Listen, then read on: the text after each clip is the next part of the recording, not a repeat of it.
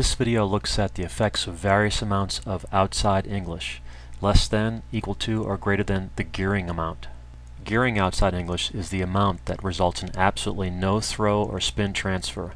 The object ball heads exactly along the line of centers. It's called gearing outside English because the cue ball rolls along the object ball like it's geared to it, like two gears meshing.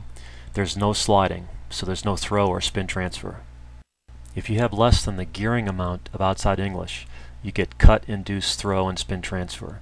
The line of centers impact line is shown in yellow.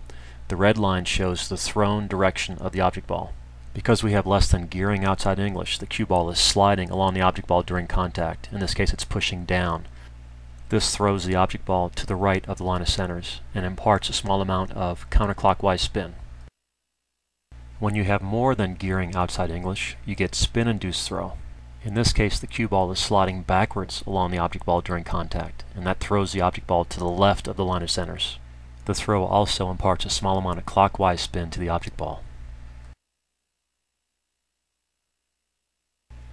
The amount of English required for gearing action is different for every cut angle, but even at very thin cuts we can still apply more than gearing outside English and have the ball throw in the spin-induced direction. This example is an extremely thin cut, but we're still getting spin-induced throw to the left.